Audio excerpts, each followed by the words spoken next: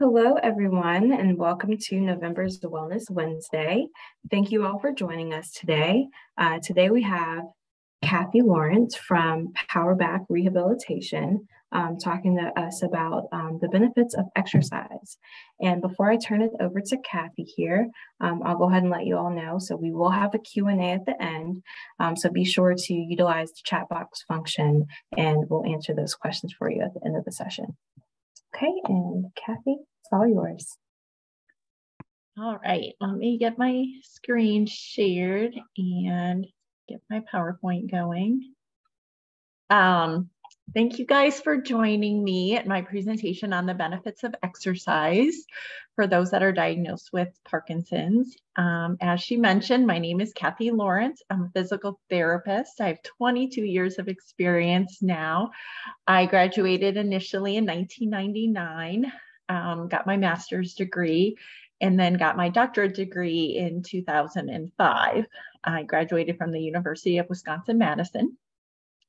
And really, the last two years, I have started specializing in Parkinson's. I've always seen patients with neurologic conditions, but I really wanted to hone in my skills for Parkinson's. So, in the last two years, um, I've done a tremendous amount of training. I am LSVT Big certified. I'm Power Move certified. Um, I'll explain what that means later. And I'm currently working for Powerback Rehab and Rehab to You. Uh, we do in-home outpatient therapy, PT, OT, and speech. And we're located in the Charlotte area. So we do the Charlotte metro area and even into South Carolina. We have a gym as well at Memory and Movement Charlotte, where we partner with the neurology team there. And I had to add a little cute picture of my family um, on there. It was the best that I could find. So today we're going to talk about general benefits of exercise when you have Parkinson's disease. I'm going to talk about very specific Parkinson's disease programs that you can do to improve your symptoms. We'll talk a little bit about why exercise is hard when you have Parkinson's, and then we'll just talk about how to start and how to get going. So why is exercise important? Um, I think everybody kind of knows the general answer for that, that is, exercise is important for everybody, but it's very, very, very specifically can improve Parkinson's disease symptoms. Um, this is supported by the research, which shows that people with Parkinson's disease who start to exercise a minimum of 2.5 hours a week will experience a slow decline in their quality of life. Studies have linked exercise to reduce the risk of Parkinson's and slower progression through neuroplasticity, which we'll talk a little bit about more later.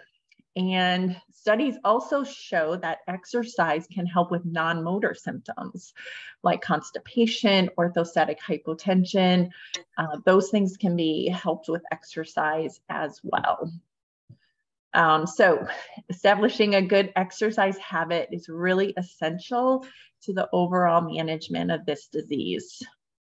So what type of exercise should you do? So most people always recommend the first four things. Um, today, I'm gonna add the neuromuscular uh, neuromuscular exercise into the conversation.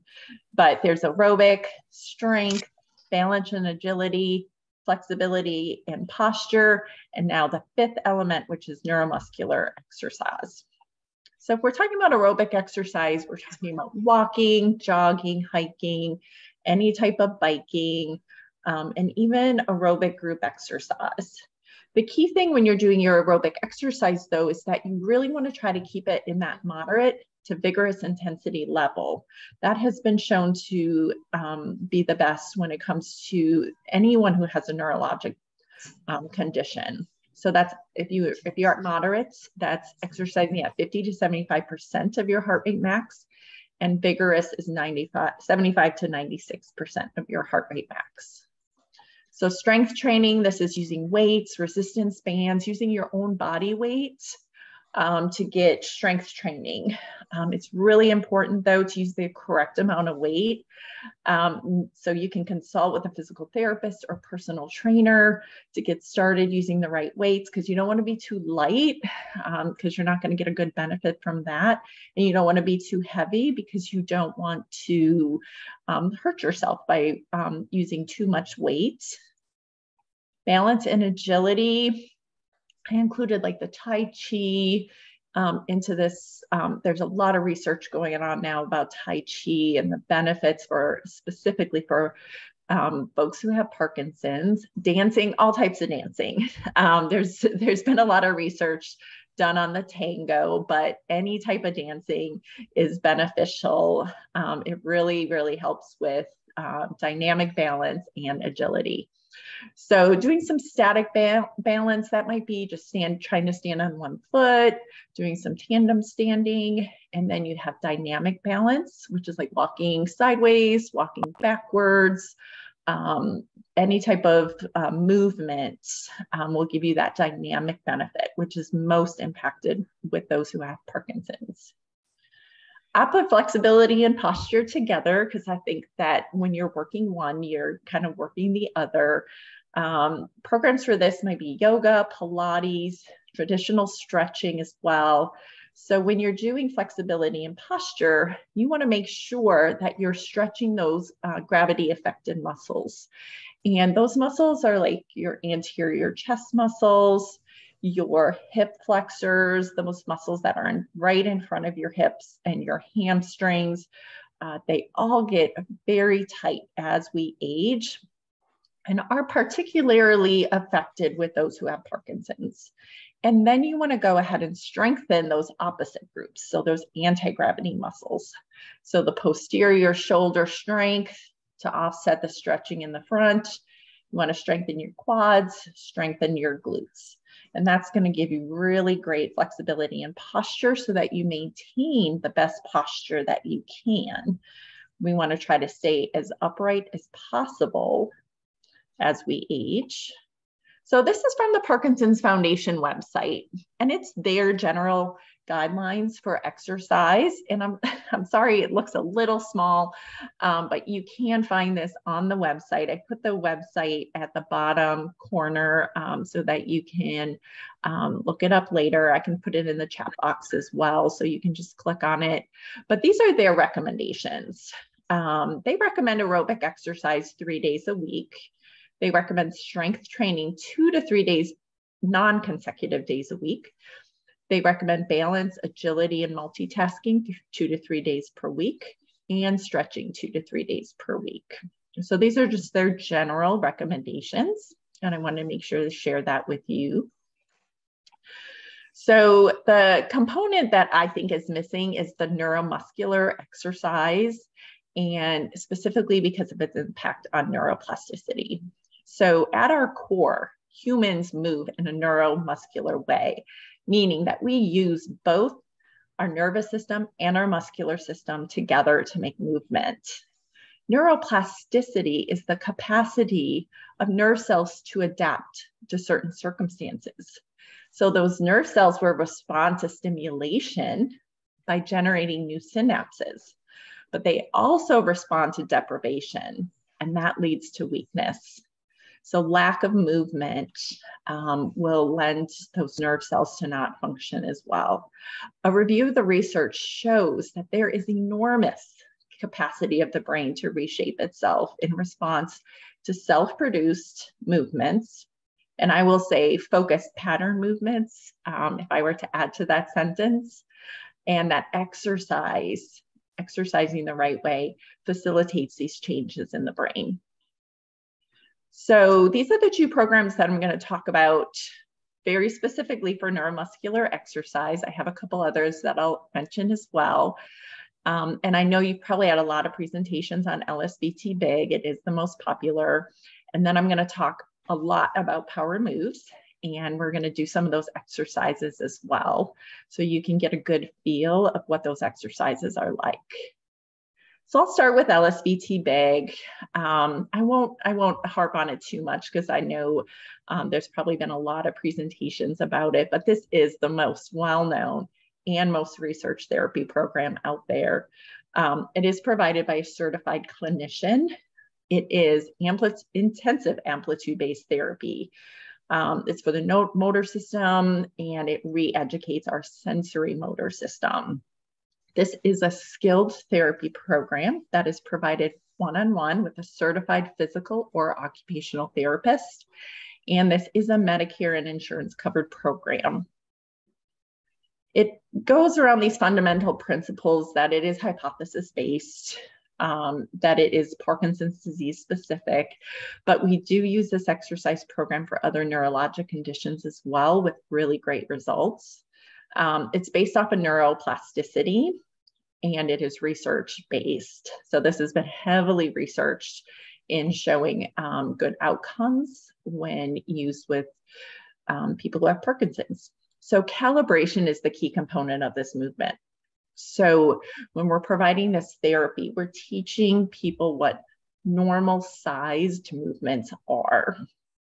And once you get through these normal sizes, you then start moving better all around. And our clients just become empowered when they're given this control over their Parkinson's. Now, this program is very strict. It is four times a week for four weeks, it's 16 sessions, and you do daily homework. So if you're going to sign up for this program, LSVT Big, and you're not scheduled for four times a week for four weeks, it's not the full research-based program.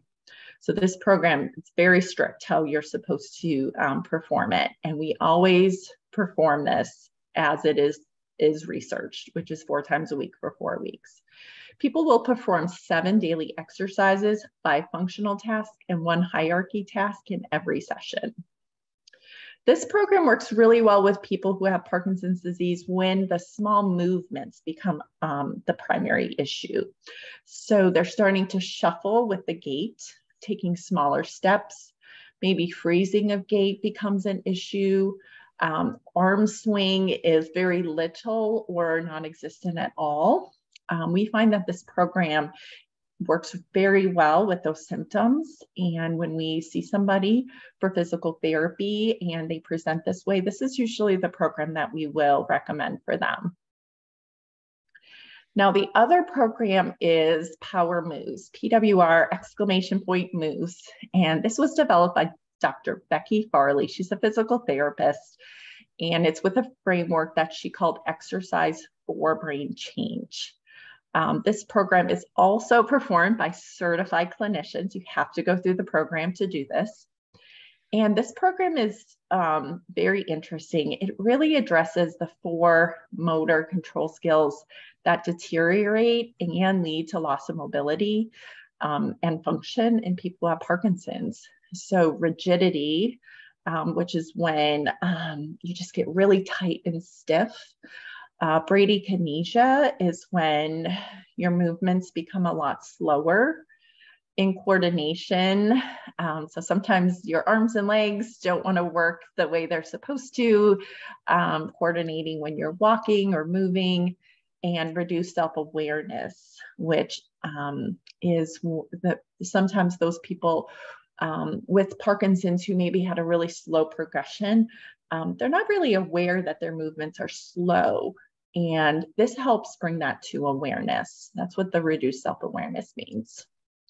So each of the four basic power moves is designed to address these four building blocks of function. So anti-gravity extension is, um, you know, anything that keeps you upright. um, weight shifting, which um, becomes a major issue with um, freezing of gaits. So freezing a gait is really a weight shifting issue. Axial mobility is referring to that trunk, the loss of trunk rotation. And then transitions. Um, so transitions can become more difficult going from sitting to standing, um, initiation of gait, uh, getting up off the floor, bed mobility, those types of things. So these exercises can be performed seated, standing, in all fours, all fours on the ground, um, Supine is when you're on your back and prone when you're on your stomach. So each exercise can be practiced in isolation, so just one exercise, or you can combine different positions. And you can also link the movements together um, to kind of mimic everyday movements, which is really um, what I think is unique about this program and why I love it so much. Um, same thing with these movements, large amplitude, high effort, and attention to action to have the best quality of movement. So with this one, there's no specific protocol. Um, you can do this proto protocol as many times per week as you like. Um, and it's really just based off of the clinician's judgment and kind of um, you know what the patient um, is feeling as well. So sometimes people don't they're still busy. Everyone's still busy right? And um, you might not have time to do physical therapy four times a week for four weeks. So sometimes this is a good program for those who maybe can only do therapy twice per week. Um, and it's just as effective um, so it might take a little longer to get results doing it at a lower frequency, but we still get very, very good results. So this is kind of a glance at what all the exercises are. Um, again, I didn't have the, the best picture for, for you, um, but. Um, so on the left-hand side, you'll see the descriptions of the exercises, and then they show the exercises in all of the positions. And we're gonna do the seated ones here in a minute, but I'll talk about each one. So the power up is that first column, and you can see doing it in standing, sitting, on all fours, prone and supine. And you can see with this exercise that we're really working the posture muscles, those muscles in the back of the shoulders, um, really trying to um, have a tall and erect posture. Um, power rock addresses the weight shifting. So um, we're reaching, we're turning, we're leaning in different directions to get um, a better sense of being able to shift side to side. That exercise is really great for those who are suffering with some freezing issues. Um, power twist is addressing that trunk rotation that I spoke of. So we're really taking our trunk to the max rotation in all the positions. And then power step, this is for the transitions. So um, it's hard to tell in the pictures, but we're having big, large amplitude stepping move movements. Um, and this is also very helpful for freezing a gait, but also helpful for um, bed mobility. So if someone is really struggling getting in and out of the bed, um, we might select these exercises for them. So we're going to go through some of the exercises. And if you're able to and want to, you can uh, do the exercises with me. Um, we're going to do them all in seated position. So if you are able, um, have a chair and we'll go through these exercises, or you can just watch me go through the exercises, but I want you to be able to see the exercises. So I'm just gonna relocate myself so that you can watch me. And like I said, if you feel safe to do, please follow along with me. Sorry, there's a little bit of a glare. It's a bright, it's a bright sunny day. Move right here. All right. So the first exercise is the power up. So we're seated at the edge of our chair here. Our legs are wide.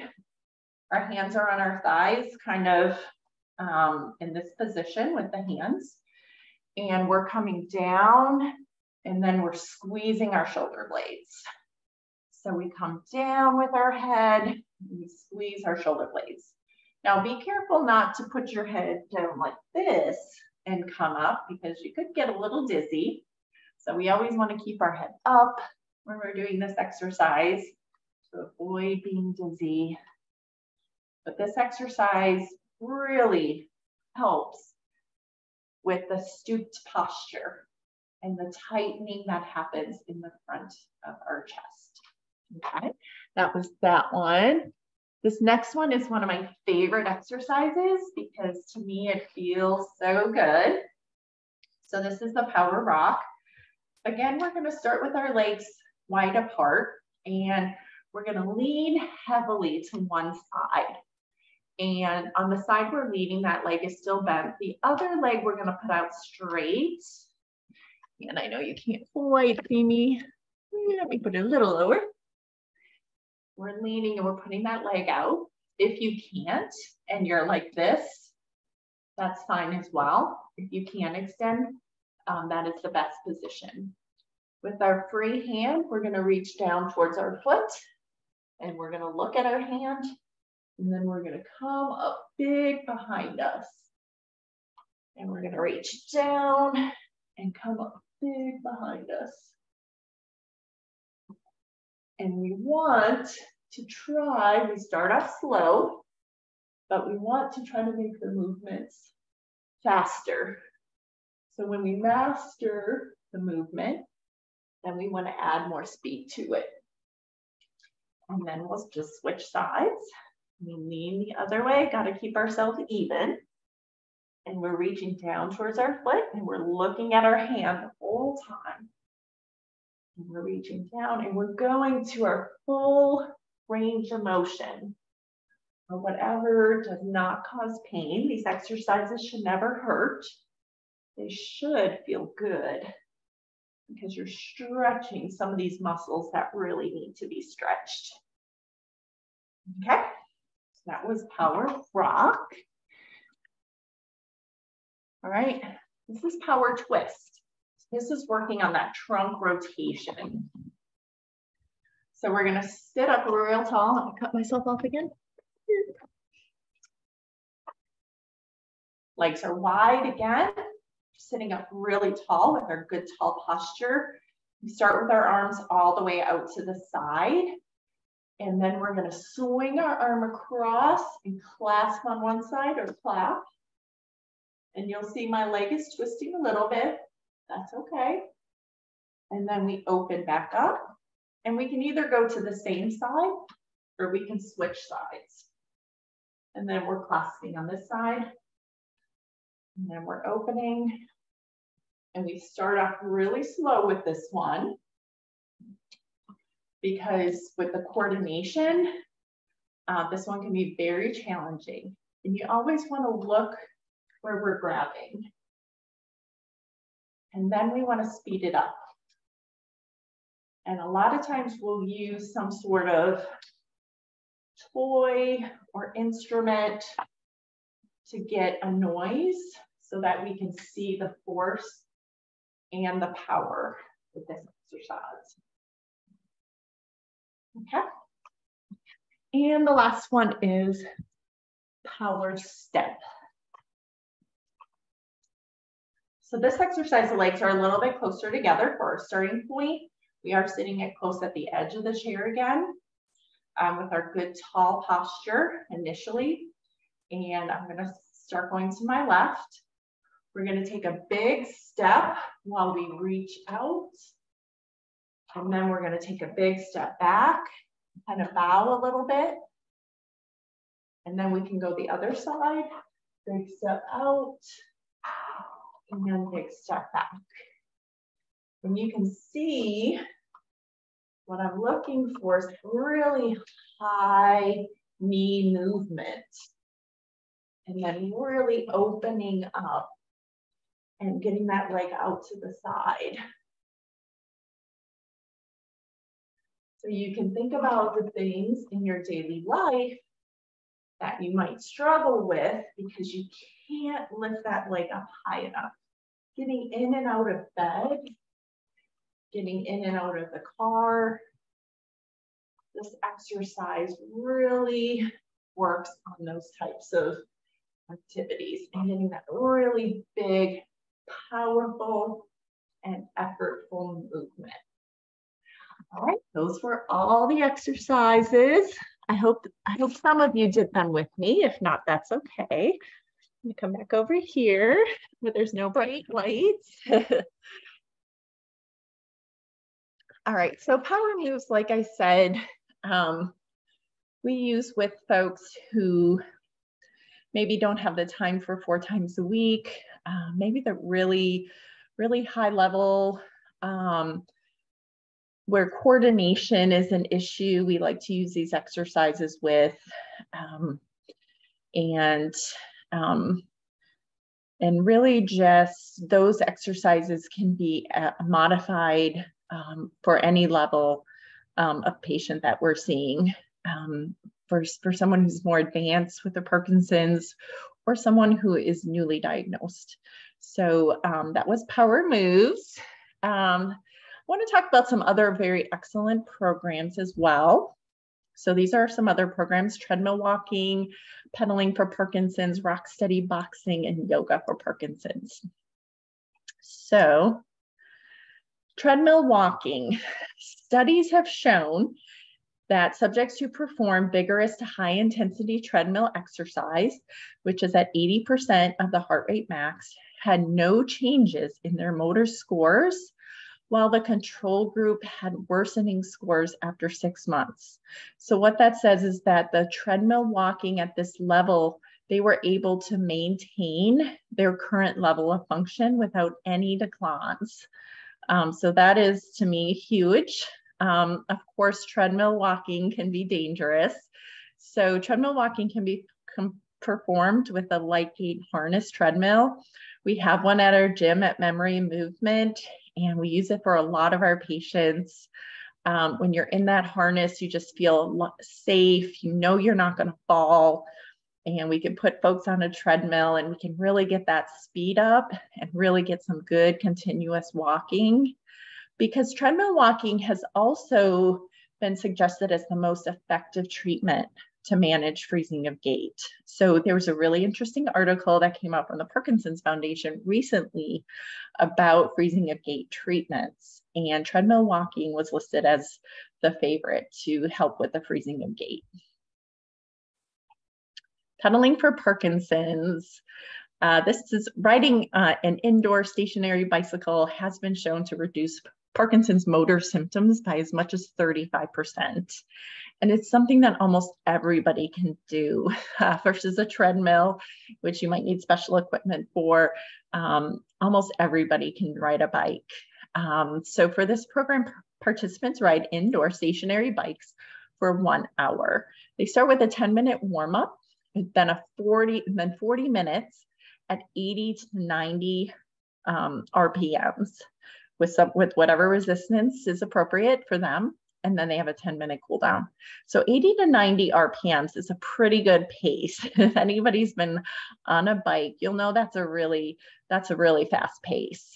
Um, and you can take these online and you can have live in person. And there are more than 150 facilities across the country. So if you want to join a Pedaling for Parkinson's indoor cycling group, just go to pedalingforparkinsons.org. Rock Steady Boxing. Of course, everybody has heard about this program. It is the most famous, most talked about program for Parkinson's, mostly because the amount of fun that I think people have when they go to Rock Steady. So, this is a non contact Parkinson's boxing program.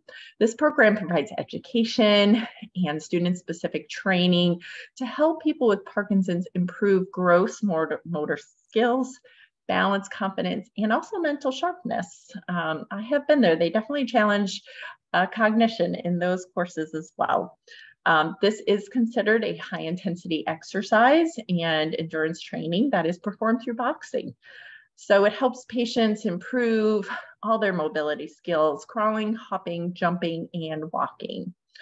Um, there are a lot of rock steady um, facilities out there. To find one near you, go to rocksteadyboxing.org. Yoga for Parkinson's. So yoga poses can target different muscle groups. Uh, sometimes strength, some strengthen the core, which helps your posture, while others work with the extremities. Um, person can modify movements to meet their needs. So these, you know, any level can do yoga, can do it in seated position as well. And these can be done in a variety of ways too, which is helpful. So if you have some up and down days, you can adjust this program um, to for whatever the day is bringing you. So the Parkinson's Association of Carolinas offers in-person and virtual yoga programs. The bottom line is there's no 100% right exercise program. So you can be flexible and exercise the way that you enjoy it. Um, as you can see, there's a lot to choose from. But there's a lot of challenges to exercise. So I want to address that a little bit. Um, fear of falling is probably the biggest reason that some folks do not do any exercise. They think they're going to fall if they exercise. Um, some folks already at this point might have a loss of strength, you might have deconditioning already. That makes it harder to exercise, and it's harder to exercise without assistance. Um, motivation is a challenge. Um, apathy is a part of Parkinson's. And sometimes it's hard to tell if it's the Parkinson's apathy, lack of motivation um, for exercise. Um, but once you start seeing results, the motivation comes with it. Um, and some people need somebody to help them. Um, so it's just about finding the right people.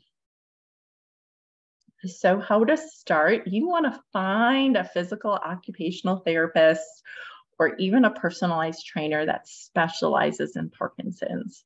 You want somebody who specializes in it because there's just this higher level of understanding of what is going on head to toe when it comes to Parkinson's.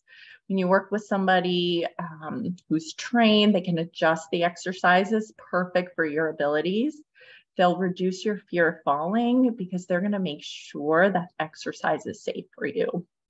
They also um, understand non motor symptoms um, as well as the motor symptoms, right? So it's really important for your trainer or your therapist to know, you know, that sleep sometimes is a big issue. Um, when you have Parkinson's, um, or knowing, you know, the off times and what happens during the off times. Um, you know, and you might have some comorbidities that make exercise harder. Um, you could have a lot of osteoarthritis. Um, so, exercise, you want to make sure it doesn't hurt the joints when you're doing it. So, when you have a specialist, they're going to address all these areas. So, if you want to find an LSVT Big certified clinician, um, this is the website, the lsvtglobal.com slash LSVT find clinicians. And that will give you a list of all the local LSVT Big certified therapists. If you want to find a Power Moves certified clinician, so those are all the, the exercises that I showed you. You can find them at um, pwr for life, L-I-F-E dot org slash directory or you can join a Rock Steady boxing class by going to rocksteadyboxing.org to find a location near you.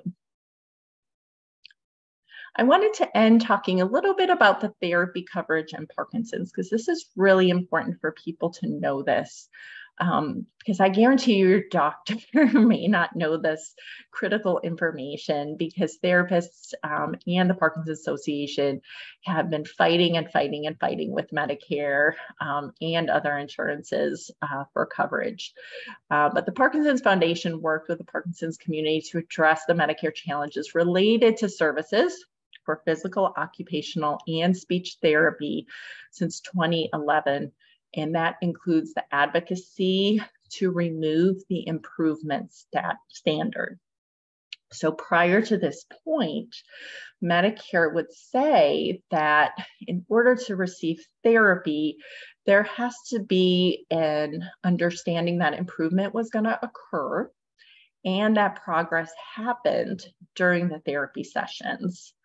Um, of course, as you know, with any chronic progressive condition, sometimes progress is not the goal. The goal is to not decline. The goal is to stay right where you are. And sometimes that still requires skilled physical therapy, occupational, or even speech therapy. So when that happened, um, people who had Parkinson's could no longer be denied coverage for therapy solely because of the lack of improvement. So in February of 2018, this exceptions process was made permanent, meaning that people in Medicare can no longer be denied therapy if they need it to manage their health condition. Now, of course, we have to manage this on our end and fight with Medicare still for coverage when progress does not happen. But they, we have strong um, backing. Um, Medicare was sued. They lost the, the lawsuit for, for it. Um, they're not allowed to deny coverage. So we just have to be sure that we're explaining why it's medically necessary. So that was really great news. So when someone says, oh, your therapy is not going to be covered, um, that's not true. Therapy is covered. Um, there's no cap on therapy services. Um, now, sometimes if you have a managed care plan, we might have some therapy issues or therapy coverage issues, um, but we work through it.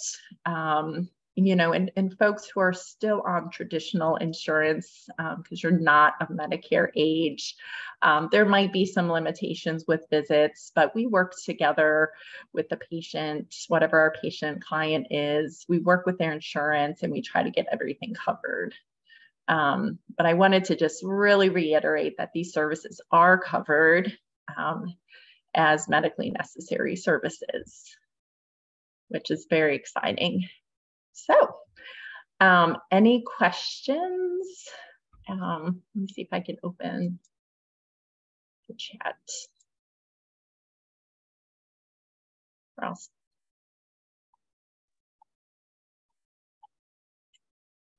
If you have any questions, you can unmute yourself at this time. You don't have to use the chat box anymore.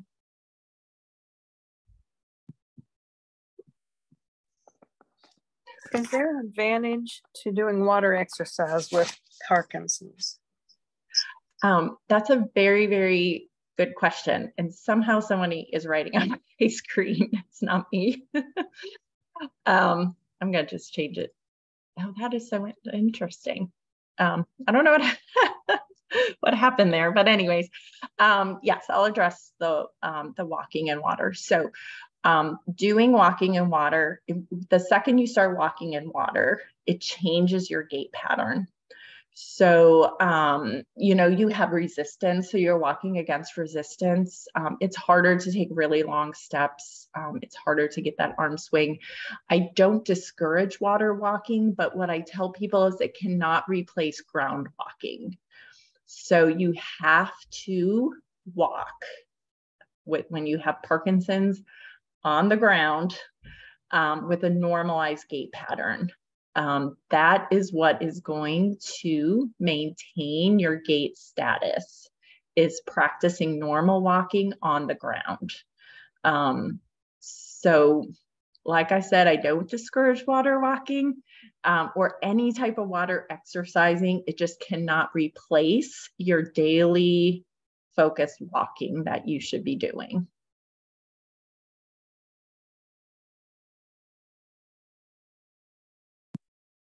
And it looks like we have a chat. Um, a question in the chat here. There we go. Um, How long do you recommend on the treadmill? Oh, um, so the treadmill was 30 minutes um, at that. Um, the study was for the 30 minutes at that high intensity.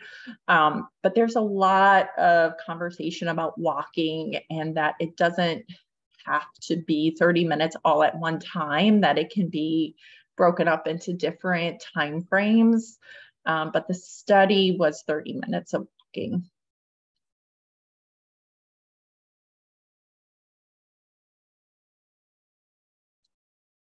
That sounds like all walking is good. Oh, say that again. Uh, I would you say all types, all types of walking, all types of walking are good. Is that the, the all, type, all types, all types of walking are good, but your primary walking exercise is on the ground.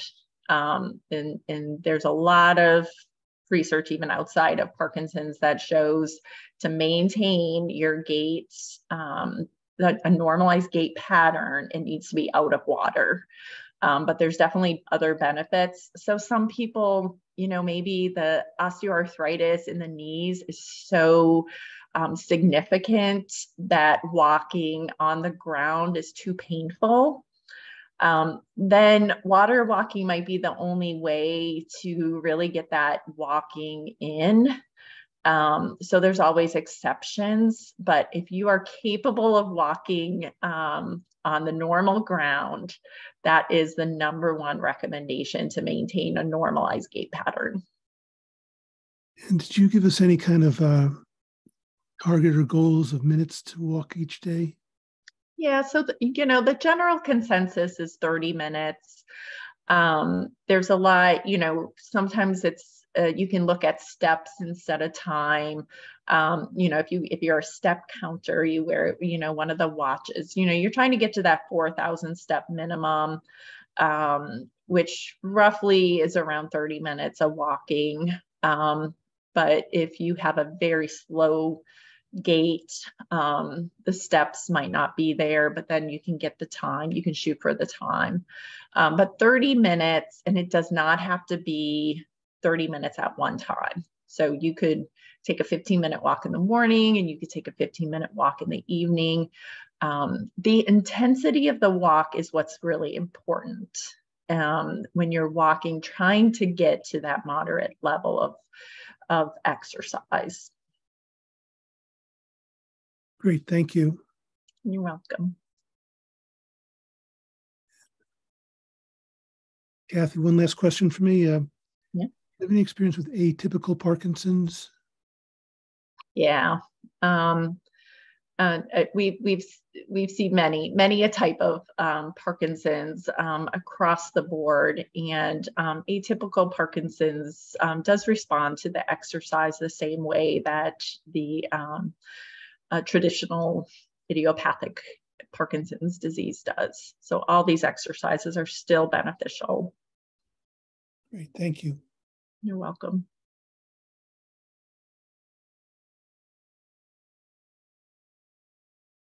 Uh, motivation. Please suggest more ways to stay motivation.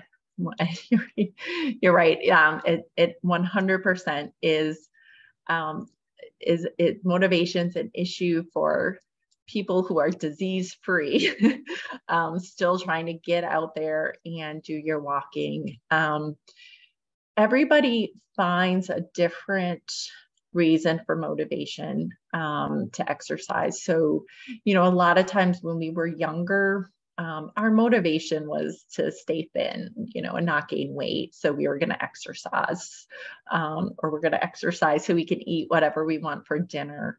Um, but of course, as you age, the motivation changes. Um, staying motivated is um, is a is a big challenge too when apathy is um, a, a, a, symptom that is uh, coming along with um, your diagnosis of Parkinson's. Um, and overcoming that barrier even makes it harder. So, a lot of times, what I tell people is that exercise is the only thing that stops the progression of Parkinson's. Um, everybody goes on medication um, and you take that pill every day. Um, but the pill is just managing your current state um, and keeping you mobile, of course, but it's not preventing the decline. Um, exercise is the one and only thing that can prevent the decline. And you have to find motivation in, you know, what do you want your life to be like? You know 10 15 20 years down the road with your parkinson's um, you know you see these really great stories of of people who are the the American Ninja. If anybody walks watches the American Ninja Challenge, um, there was a guy on there who had Parkinson's, um, and he was still working out even though it was a lot harder. Um, and you just see these really really great stories. So Parkinson's does not limit you. Um, but people self limit when they have Parkinson's. So um, sometimes um, finding a coach. Um, that's why I highly recommend um, either getting a physical therapist in your life or a personal trainer um, because they're going to help with the motivation. And it's more about maybe about reminding what the motivation is. Hopefully, motivation comes with results. Um, you know, I find it hard sometimes with spouses um, to give that motivation um, because they, um, it almost comes off like pushing pushing for exercise instead of motivating for exercise. When it's your spouse it's a little bit different. So a lot of times the motivation comes from other people outside of your family. Um, that's why i love rock steady boxing um, when you go there you have a group of people that are all they're all in the same boat um, and you give each other motivation going to the class. Um, so I definitely recommend classes as well to help with motivation. Um, you know, knowing that, oh, if I don't show up to my class today, what's everybody going to think? You know, so there's like a little bit of accountability there as well. Um, and exercise produces endorphins. So if you can just start, you just got to start to exercise. Um, those endorphins are going to make you feel good, and then you're going to seek out that feeling again. So, um, those are just, you know, some examples. Um, every single patient that I have is motivated in a different way and by a different thing. So it's kind of hard to just give a really general statement about it, but hopefully that helped a little bit.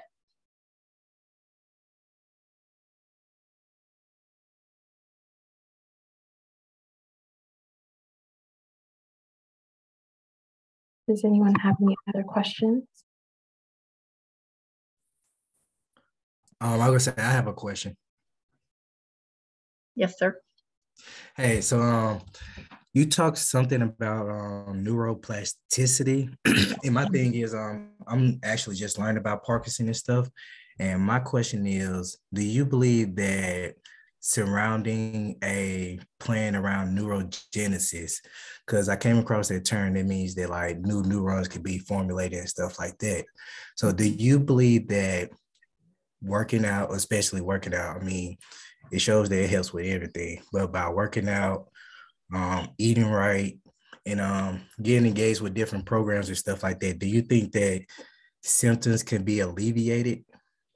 Yes. I, I 100% believe it because I see it all the time. Mm-hmm. Um, you know, um, I'll just give an example. Um, you know, I had a younger, kind of a younger um, patient, I'll say younger. Um, mm-hmm. he, he was probably should have been retired, but wasn't, was still working. And the Parkinson symptoms were really kind of spiking up a little bit. And he was really struggling at work and was like stumbling at work. And, um, you know, he didn't tell anybody at work that he had Parkinson's. Um, and then, but he's never exercised ever. Mm-hmm. Um, so I worked with him and got him on an exercise program. And um, I worked with him over two month time period to get him up to the place he needed to be because he had never mm-hmm. exercised before. So he needed a little bit of help to get to yeah. what he needed to do. And it totally changed his life. Um, mm-hmm. He was able to go to work. His symptoms were almost non existent. Um, you know, people stopped asking him what was wrong with him um, mm-hmm. because he wasn't stumbling anymore. And I, I strongly believe it's because we made changes in his brain. Yeah. Um, yeah. So I, I gonna say like the more that I started understanding because um I studied gerontology at um UNC Charlotte, and one thing I started noticing that um it's about how we look at the body and stuff like that. But from a lot of things that I'm starting to understand that there are multiple um, stages that a person could be diagnosed in. So if you think that say five being the worst, do you believe that a person that's at a stage four, due to the fact that they stick to a like informal, informal, uh, informal, informal care support system, which um they actually have like family and stuff like that helping them out, and at the same time having their like physical therapy and stuff like that. Mm-hmm. Do you believe that symptoms could come back to a stage two due to what you just said? Uh, maybe not that far, maybe Mhm. not that much better. Um, I'll just give another example. When I just I started working with a patient who does not take medicine for Parkinson's, Mhm. um, um, because it just gave him orthostatic hypotension so significant that he wasn't able to take it. And um, just working with physical therapy, he was wheelchair bound Mhm. when I started with him. Mm. And now he walks around his house with a cane. Wow. So, you know, if you look at the stages of Parkinson's, we reversed that stage, that staging. Now, he likely was probably at a stage two all along. He just didn't know the right things to do. Mhm. And when you take somebody and you give them the right things to do, amazing things can happen. Um, but the earlier the intervention occurs, the the better we are able to stop the progression. Um, we can definitely improve symptoms um, in folks, but the goal is is that if you're diagnosed in your stage one or stage two, when you get diagnosed, is that you never get to the next stage yeah. you stay in that stage that you've been diagnosed in. Um, and neurologists are just starting to catch on to that Mhm. um, and referring people for physical therapy at initial diagnosis, Mhm. um, even if the motor symptoms are very small.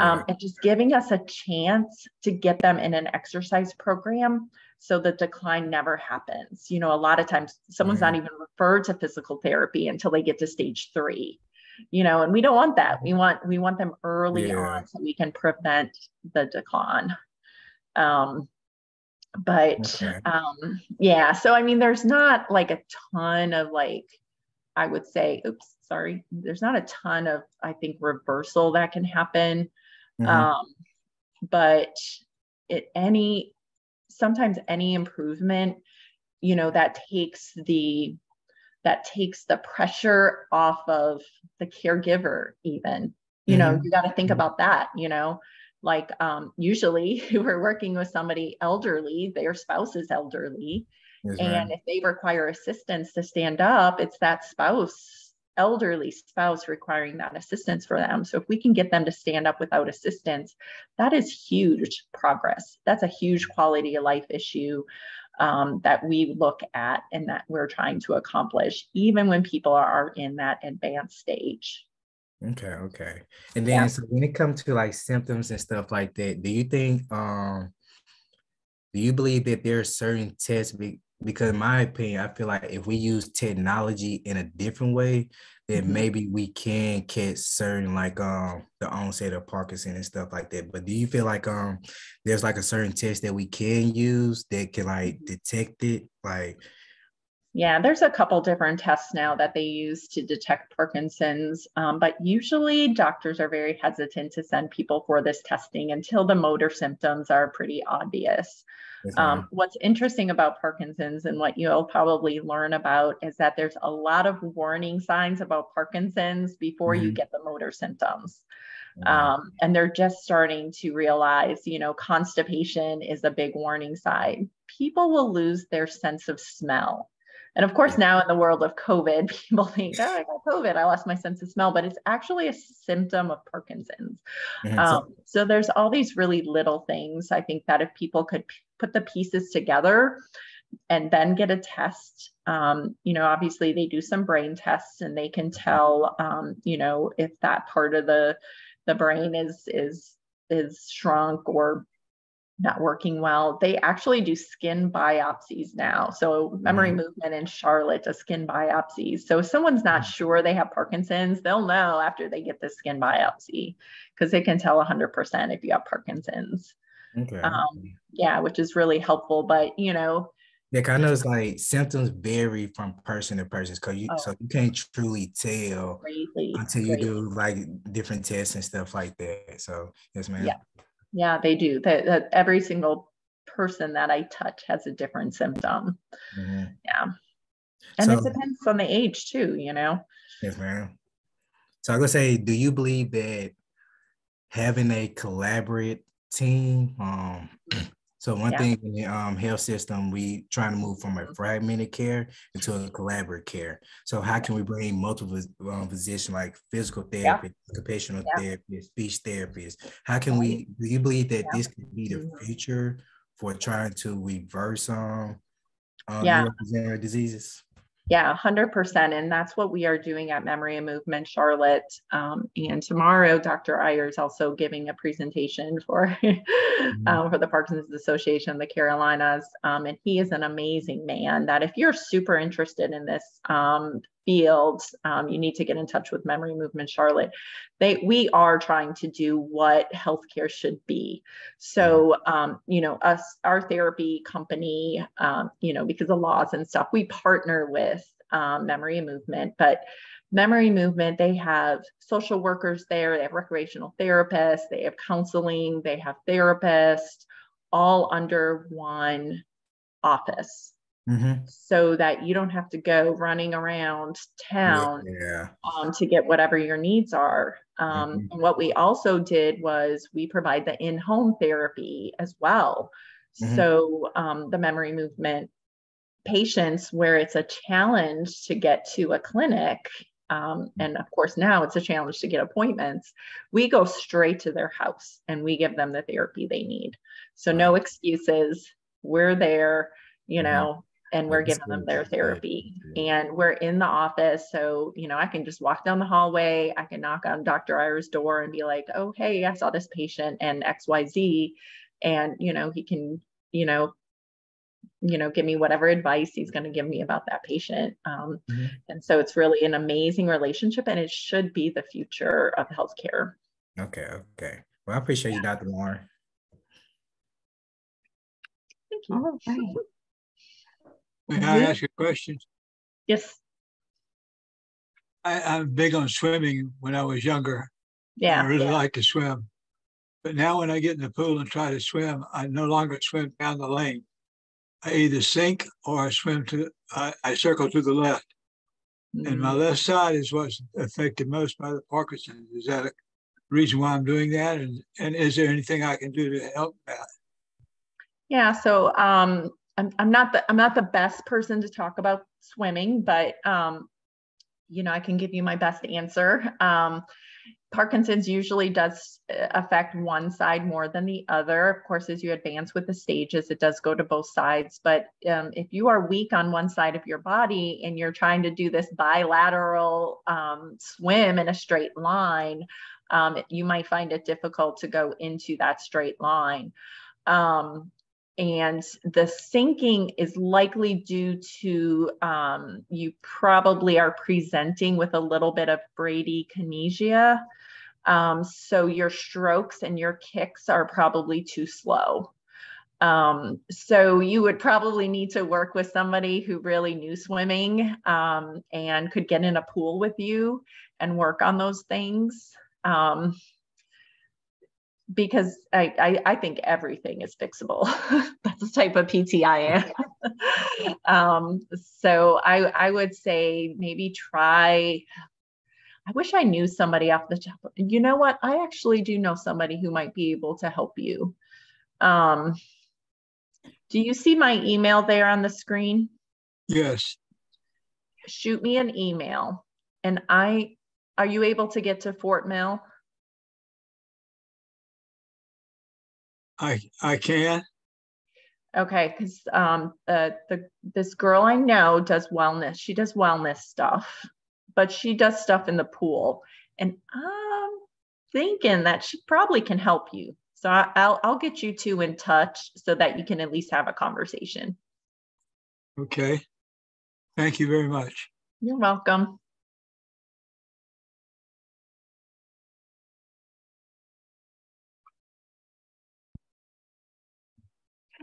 Can I Are ask another all- question? One more question. Go ahead. yes. Uh, Kathy, you mentioned lead time and uh, having trouble getting in to see doctors. Yeah. Um, I'm, I've been uh, diagnosed a couple years ago. I've been working with a very nice, uh, very good neurologist in uh, Norfolk. I lived in the Hatteras, Outer Banks.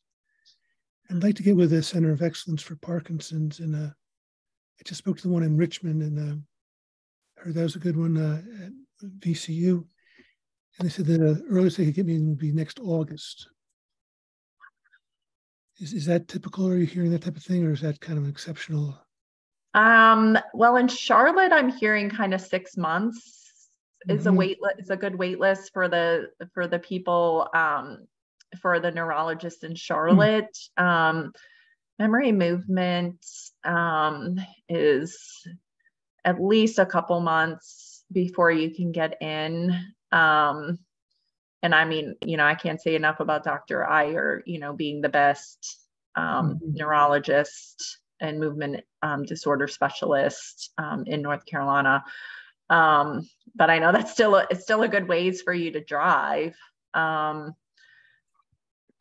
Okay, just curious. Thank you. there is just not enough. There's not enough neurologists who are movement disorder specialists.